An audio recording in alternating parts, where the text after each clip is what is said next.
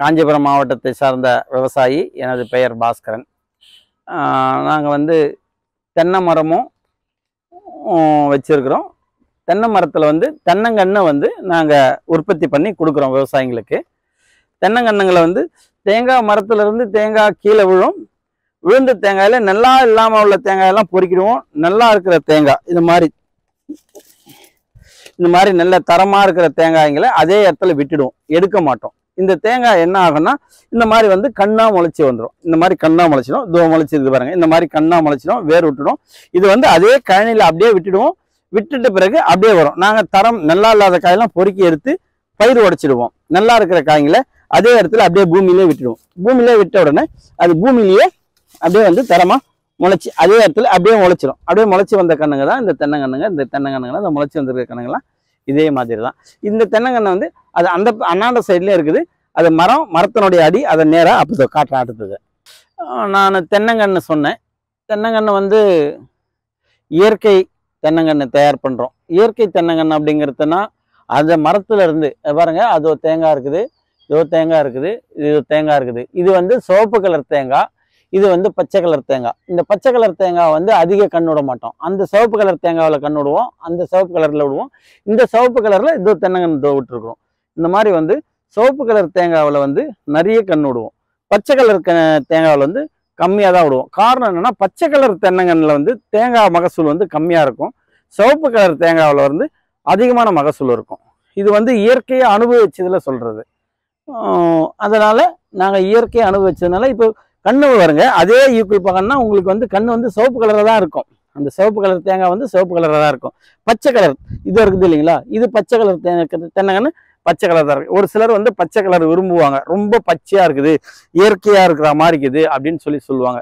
ஆனால் பச்சையாக இருக்கிறதும் தேங்காய் இருக்கும் மகசூல் கம்மியாக இருக்கும். சிவப்பாக இருக்கிறது மகசூல் அதிகமாக இருக்கும். இது வந்து எங்கள் அப்பா நட்டாங்க. அவங்க காலத்தில் வந்து இந்த மரங்கள் வந்து பயிர் ஊடு பயிர் ஒரே பயிராக பண்ணாமல் நமக்கு வரப்பு ஓரங்கள்ல ஊடு பயிர் வரணும் அப்படின்னு சொல்லி பண்ணாங்க. நான் இப்போ வந்து ஒரே பயிரை பண்ணாம வாழை பண்ணியிருக்கிறேன். இது இயற்கை. இயற்கையில வாழை பண்ணியிருக்கிறேன்.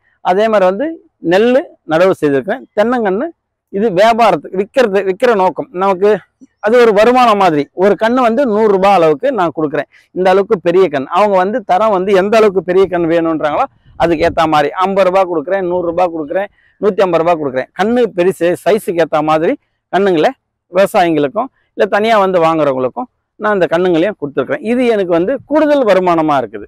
விவசாயத்தில் கூடுதல் வருமானம். நெல்லை மட்டும் அப்படின்றது இல்லாமல் அந்த காலத்தில் வந்து எங்கள் அப்பாலாம் சில கரும்பும் பயிர் பண்ணியிருந்தாங்க. அவங்க பண்ணும்போது கரும்பு பயிர் பண்ணியிருந்தாங்க காய்கறி பயிர் பண்ணியிருந்தாங்க நெல் பயிர் பண்ணியிருந்தாங்க. அவங்க இருக்கும்போது கலந்து பண்ணியிருந்தாங்க. அன்றைக்கி ஆட்கள் வந்து நிறைய இருந்தது கம்பெனி இல்லை. அதனால் வந்து விவசாயம் நல்லா நடந்தது. இந்த கண்ணை வந்து இயற்கையில் உற்பத்தி பண்ணுற கண்ணு அவங்களாம் நேராக வந்து இந்த இடத்துல பார்த்து இயற்கையாக கண்ணு எடுத்துகிட்டு போகிறாங்க இந்த கண்ணை வந்து அவங்க எடுத்து போய் எப்படி நடணும்னா ஒரு மூணு அடிக்கு மூணு அடி மூணு அடி ஆழ அகல நிகழம் உள்ள பள்ளம் எடுத்து அந்த பள்ளமானது குறைஞ்சது ஒரு மாதம் அந்த கண் பள்ளம் ஆறுனதுக்கு அப்புறம் மக்கிய உரங்கள் மக்கிய தழைகள் இவைகளை போட்டு அந்த இடத்துல இருக்கிற மண் இல்லாமல் வேற ஒரு மண் எடுத்துக்கிட்டு வந்து அதை அந்தந்த பூமியில அந்த மண் இல்லாம வேற ஒரு மண் எடுத்து வந்து அந்த பள்ளத்துக்குள்ள போட்டு நிரப்பி இந்த கண்ணு வச்சோம்னா கண்ணு வந்து நல்ல தரமா வரும். உங்களுக்கு கண்ணும் நல்லா இருக்கும். இதுல வந்து பூச்சி அப்படிங்கிறது காண்டாமிருகம் வண்டு தான் அதிகமான சொல்லலாம். பூச்சிங்கிறது அந்த ஒரு வண்டு மட்டும்தான் காண்டாமிருகம் வண்டு மட்டும்தான் வரும். அது காண்டாமிருகம் வண்டு வருதுன்னா நம்ம உப்பு இருக்குது கல் உப்பும் மணல் இருக்குது. மணலும் ரெண்டும் கலந்து சும்மா லேசாக அந்த ஓலைகளுக்கு நடுவே ரவ ரவ போட்டு விட்டோம்னா அந்த காண்டாமிருகத்தோட கழுத்தில் போய் அந்த உப்பும் மண்ணும் நின்றுதுன்னா அந்த காண்டாமிருகம் வந்து செத்துரும். இது சிம்பிளானது. இதுக்கப்புறம் நீங்கள் வந்து அதை மருந்து சாவடிக்கணும் அப்படின்னா அதுக்கான மருந்தும் இருக்குது. மருந்து பயன்படுத்துகிறவங்களும் பயன்படுத்தலாம். மருந்து பயன்படுத்தாத இயற்கையிலே போறன்றவங்க இந்த மணலையும் உப்பையும் கலந்து அந்த குருத்துக்குள்ள அப்படி சும்மா ரெண்டு ரெண்டு சிட்டிகை அப்படின்ற மாதிரி போட்டோம்னா அந்த வண்டு போய் குருத்து தூணும் போது அது அந்த இதுவா சட்டம். எப்படி அப்படின்னா இதுல பாருங்க இதோ இதுல துண்ணு இருக்குது. இது வந்து அந்த குருத்து இது துண்ணது. இது துண்ணும் போது அந்த மாதிரி அந்த இது போட்டதுனால அது செத்துட்ட பிறகு திரும்பி இந்த மாதிரி துளுத்து இந்த அளவுக்கு வந்துடும் வேற ஒன்றும் இல்லை. இந்த காண்டாமிருகம் வந்து அழிக்கக்கூடிய வழி இதுதான். ஊடுபயிராக சொன்னேன். நண்டு போவ நடவு அது வந்து வாழை. வண்டி போவ வாழை தேர் போவ தென்னை. இப்போ தேர் போவ தென்னை பெத்த பிள்ளை கூட காப்பாற்றாது தென்னம்பிள்ளை காப்பாற்றும் அப்படின்னு அந்த காலத்தில் அனுபவத்தில் சொன்னாங்க. நிறைய பேர் வந்து கழனையை வந்து சும்மா விட்டுட்டு இருக்கிறாங்க. இந்த இந்த மரத்தில் பாருங்கள் சிவப்பு கலர் தேங்காய். அதுவும் அந்த மரத்தில் பாருங்கள் சிவப்பு கலர் தேங்காய். இந்த மரத்தை பாருங்கள் இந்த தண்டு பாருங்க அதே மாதிரி சிவப்பு கலர். இந்த கண்ணை பாருங்கள் சிவப்பு கலர். இந்த சிவப்பு கலரில் வந்து அதிகமாக விட்டுருப்போம் இது நல்லாவே தெரியும். இந்த கலர் வந்து சிவப்பு கலர் வந்து நல்லாவே தெரியும். இது வந்து சிவப்பு கலர். இந்த சிவப்பு கலரில் வர்றது வந்து நல்லா இருக்கும் மகசூல் வந்து கூடுதலாக இருக்கும். சிவப்பு கலரில் மகசூல் கூடுதலாக இருக்கும். அதனால வந்து நான் இந்த சிவப்பு கலரை வந்து நிறைய இந்த விட்டுருக்கேன் பாருங்கள் இதெல்லாம் சிவப்பு கலர் இந்த சிவப்பு கலர் தேங்காய் வாங்கி நட்டால் கூடுதலான மகசூல் இருக்கும் நல்லாயிருக்கும் தண்ணியும் வந்து நல்லா இயற்கையில் வர்றதுனால தண்ணியினுடைய தரணம். அருமையாக இருக்கும். உலகத்தில் வந்து நூறு சதவீதம் தண்ணி உலகத்தில் இருக்குது. வானத்துக்கு போகுது மழையாக வருது கடலுக்கு போகுது.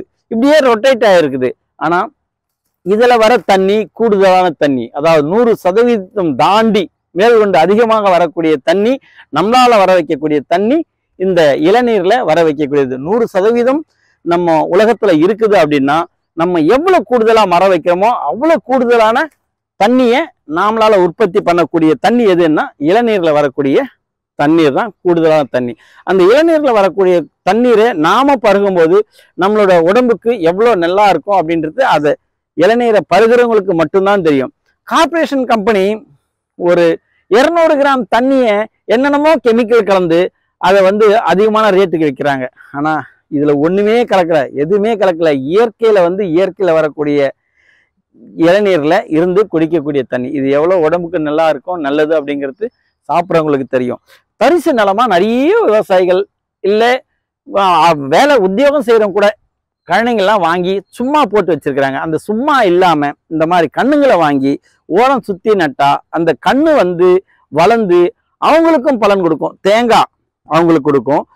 ஓலையில் தொடப்போம் அவங்களுக்கு கொடுக்கும். அதே மாதிரி வந்து அந்த பயிர் எடுத்து செக்கடிச்சா நம்மளுக்கு எண்ணெய் கொடுக்கும். இந்த மாதிரி பல விதமான இதில் நமக்கு லாபம் இருக்குது. அந்த மாதிரி தரிசாக இடம் பூமிகளை விடாமல் அந்த பூமிகளில் உத்தியோகம் பண்ணுறவங்க கூட வாங்கி வைங்க. விவசாயிகளும் இந்த மாதிரி ஊடு பயிர் மாதிரி ஓரம் வைங்க. எல்லாருக்கும் கூடுதலான வருமானத்தின் வழி ஒரு தென்னங்கன்று. அதனால தான் அந்த காலத்தில் சொன்னாங்க பிள்ளை இருந்தாலும் உதவி உதவி இல்லை என்றாலும் தென்னை நம்மள் உதவி என்று சொன்ன அனுபவம். அதை வைத்து சொல்கின்றேன். தென்னையை நட்டு பயன்படுத்திக் கொள்ளுங்கள். நன்றி வணக்கம்.